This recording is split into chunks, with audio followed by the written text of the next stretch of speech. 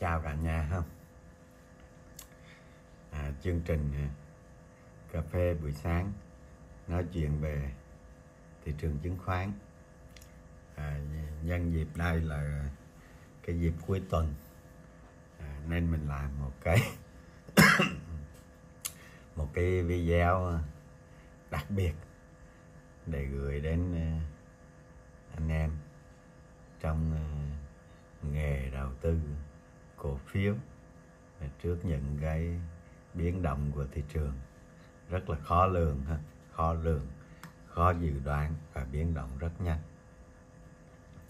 Chúng ta thấy à, cái à, con sóng tăng này à, cái vn index nó hay tạo ra những cái nến rất là cao rất là sâu cái nến biến động rất là lớn và nó dày nó dày ha chúng ta thấy này, những nền nó biến động dài, không như cái sóng trước đây.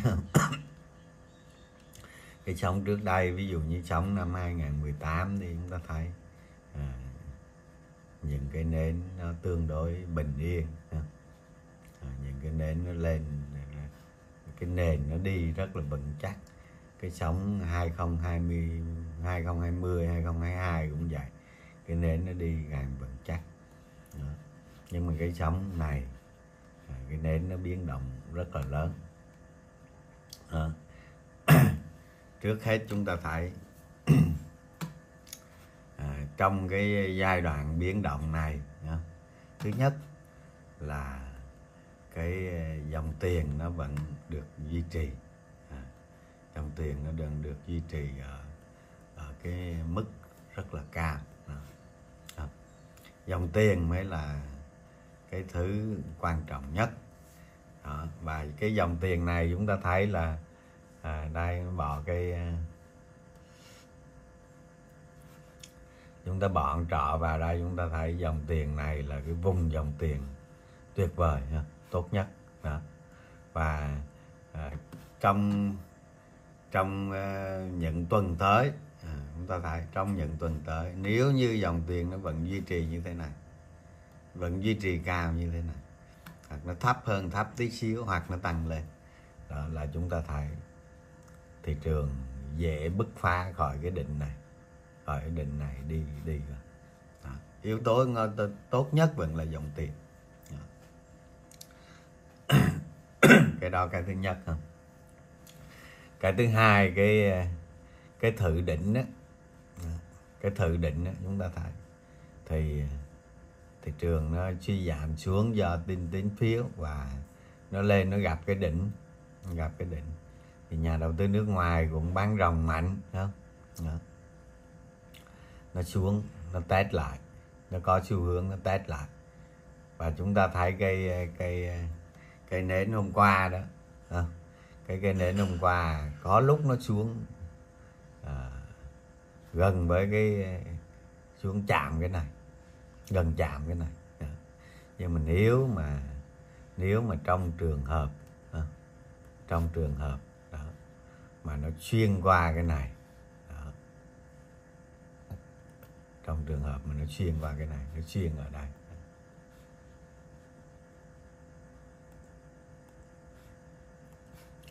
nó xuyên qua cái này ở đây, đó. thì khả năng là thị trường nó nó nó nó đảo chiều, nó biến động rất lớn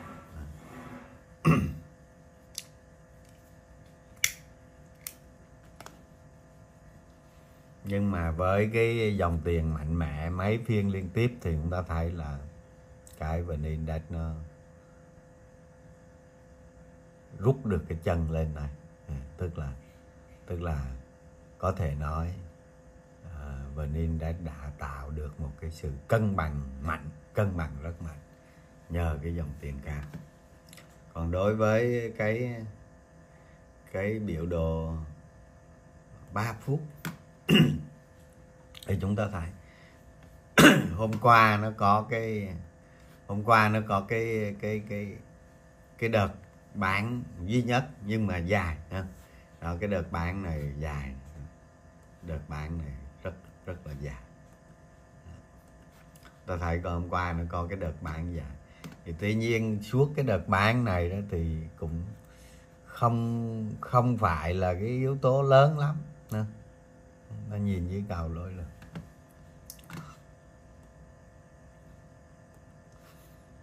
chúng ta thấy đây nè. Cái, ví dụ như hôm qua cổ phiếu vít này. Nó giảm mạnh ảnh hưởng à, chỉ số đó. rồi à, à,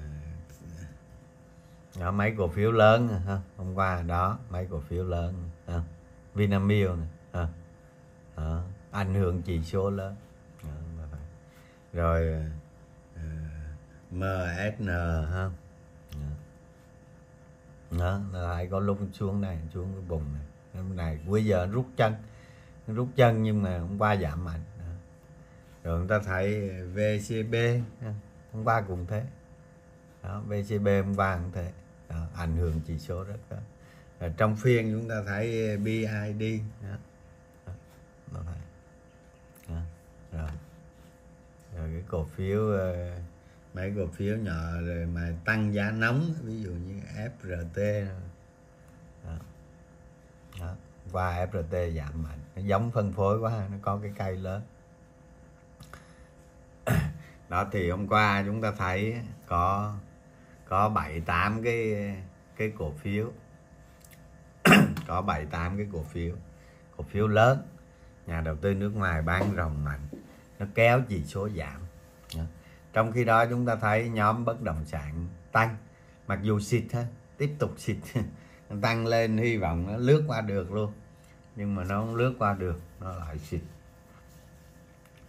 Đó là nhóm chứng khoán giảm rất nhẹ nhóm ngân hàng giảm nhẹ và cái lực bán giá thấp gần như không có à, tóm lại cái phiên hôm qua trong cái bình diện chung đó, thì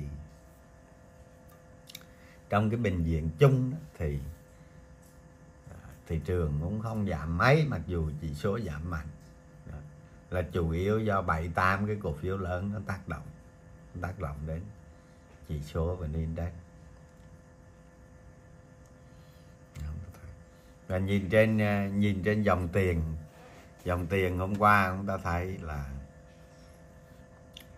cái ờ, cái ờ, vn index rất là rất là cân bằng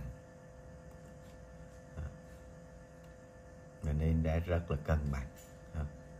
Đó. các bạn chú ý trong những cái tuần tuần tới, nó rất quan trọng rất quan trọng. Thì tôi sẽ làm một cái video khác ha. Nói về nói về trong mấy cái mấy cái tuần tới. Còn cái này tôi nói, cái phần 1 đi ha. Cái phần 1 tôi nói về thị trường chung nha. thì hôm qua nhóm bất động sản tăng tăng mạnh, nhưng về sau yếu đi. Đó. Chẳng khác gì nó xịt kiểu như thế rồi à, nhóm ngân hàng mạnh, nhóm ngân hàng đa số cổ phiếu giảm nhiều trừ cái cổ phiếu lớn đó. rồi à, nhóm chứng khoán thì gần như đi ngang, mặc dù vừa tăng mạnh mặc dù vừa tăng mạnh không? thì cái phiên hôm qua nó được xem à, có thể thấy nó nó tạo được cái sự cân bằng tức là cái cái cái nền của nó nó hỗ trợ tốt. Đó chúng ta thấy cái chỗ 1250 này. Đó, 1250 đó. kiểu như nó tạo ra một cái xấu cho các bạn cắt lỗ. À, sau khi các bạn cắt xong thì nó hồi. Cái kiểu thị trường bây giờ nó đi như vậy đó. Ừ. Và trong tuần tới trong tuần tới à, nếu như dòng tiền nó duy trì thế này thì khả năng cao và index nó sẽ vượt cái đỉnh này nó đi lên. Chỉ có dòng tiền cao mới tin tưởng thôi chứ không tin tưởng cái gì cả. Đó. kiểu như thế. À, về ngoài thông tin à, thông tin à, tỷ giá với à, tín phiếu thì vẫn tiếp tục phát hành tín phiếu thôi ha cái chuyện đó mà năm ngoái cái năm ngoái trong cái trong cái, cái trong cái cú cú giảm này này trong cái cú giảm này tôi có nói với các bạn là nhiều cái cổ phiếu bị bán ra thu tiền về. Cái mức thu tiền nó phải tầm sáu bảy chục ngàn tỷ làm cho lượng tiền trên thị trường nó hụt nó hụt nó hụt xuống mẹ dưới nè đó, đó nó hụt xuống dưới nè tự nhiên dòng tiền nó xuống tới đây luôn. Đó. Các bạn thấy nè. Đó. sau khi máy cây phân phối xong, dòng tiền nó xuống tới đây luôn. Đó. thì trong cái giảm năm ngoái dòng tiền nó sao? Dòng tiền nó mất đi khoảng ờ, ba ba ba ba chục trăm. Ba chục trăm. Trong cây giảm này dòng tiền không mất, mà nó tăng nữa cơ. Nó tăng nữa đó. Thế kiểu như thế đó. dòng tiền không mất mà nó duy trì ở cái mức cực khủng cao. Đó. nó duy trì ở đây nó cao. Nên khả năng về đây em đã chỉnh là rất thấp. Rất thấp với cái với cái dòng tiền hiện tại. Đó. Nên ờ, trong cái trong cái tháng 3 này à, tháng tư là cái tháng phải nói là à, nhiều thông tin hỗ trợ nhất. Nhiều thông tin hỗ trợ nhất nên nói thị trường ờ, chứng khoán giảm trừ khi nó có cái tin gì quá xấu ha quá xấu. Thì đầu tư nó cũng đơn giản thôi không có gì khó. Ví dụ trong trường hợp nó gãy thì chúng ta dự phòng cái sức mua nó nằm ở đấy đó, nằm ở đấy đó ngàn hai trăm hai mươi nè đó. Hoặc là ngàn hai ờ, sáu lăm ngàn một trăm tám mươi đó ta dự phòng đó không vấn đề gì. Và khả năng cao nó rách định được. Thì ngay khi nó rách định thì nó lại nó gặp à, cái định của chính nó. À, một hai bảy bảy đúng không? À, cái định của chính nó nè. À, à. và cái và cái ngàn ba. Thật ra cái ngàn ba này nó chỉ là tâm lý thôi chứ nó cũng bên này xa quá rồi. Ngàn ba nó chỉ là tâm lý thôi giống như cái kiểu mà nó qua được cái đỉnh này mà sọc một cây cái qua thôi đó. đó. tức là sau khi nó vượt được cái đỉnh chính nó nó lại gặp cái điểm tâm lý ngàn ba à, nó cùng rung ghê gớm cái kiểu như thế đó. À, nói về thị trường chung chúng ta thấy thị trường đã bỏ qua cái tin tín phiếu rồi dòng tiền duy trì cao và cũng không giảm được à, chỉ số không giảm được một số cổ phiếu lớn nó tác động thôi. Và cũng có vài cổ phiếu nó tăng nóng quá bây giờ nó giảm. Đó, chúng ta thấy như thế. Thì khả năng cao và nên đã sẽ bứt phá trong tuần sau bứt phá khỏi cái khỏi cái đỉnh này. Khỏi cái đỉnh này. Hướng đến cái cái ngàn ba trăm. Nếu rách được một ngàn ba trăm này à, dòng tiền dòng tiền không? Các bạn để rách được ngàn ba trăm này mà dòng tiền nó nhích lên chút thôi. Đó. Đó, dòng tiền nó nhích lên như thế này thôi. Đó, chúng ta thấy. Đó, dòng tiền cây này đó. Nó nhích lên như thế này. Bảo màu xanh đi đó, dòng tiền nó nhích lên được như thế này. Thì khả năng cao. Không? nó vách được cái điểm này. Ngàn ba này. Dòng tiền tăng lên thì khả năng cao nó sẽ lên được à, một ba sáu mươi à, nó lên vùng định giá của Vani trong năm này đó. lên vùng này đó. mà lên vùng này thì khả năng điều chỉnh lần thứ nhất cao chứ không phải thấp đâu ở cái kiểu như thế đó thì chúng ta nên à, chuẩn bị cho một cái một cái giai đoạn mới của thị trường. Để khi nó break được cái định này nó lên. Đó. giai đoạn mới. À, thường cái giai đoạn mà break được định này nó tăng rất nhanh. Nó tăng rất nhanh. Đó, chúng ta chú ý cái điều đó. Rồi ha còn à, cái thông tin à, mà đối với à, thị trường vàng đó, thì lâu nay các bạn biết rồi. Các bạn đi mua vàng thì các cái tiệm vàng họ không nhận chuyển khoản. Như vậy thì đợt này sẽ có một cái đợt làm lớn đến các cái công ty kinh doanh vàng. Đó. đợt này sẽ làm lớn như thế nó ảnh hưởng. Và có thể là có cái nghị định mới về mua vàng bắt buộc phải chuyển khoản. Đó. thì phải có cái quy định mới, mua vàng bắt buộc phải chuyển khoản. Thì lúc đó cái người mua vàng, người ta còn không chuyển khoản là nó có, là người ta sợ.